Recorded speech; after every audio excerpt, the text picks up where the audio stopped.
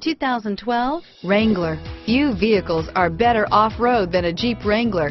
This is the one that started it all. Traceable to the original Jeep, the Wrangler is the very symbol of off-road capability and is priced below $25,000. This vehicle has less than 20,000 miles. This isn't just a vehicle, it's an experience. So stop in for a test drive today.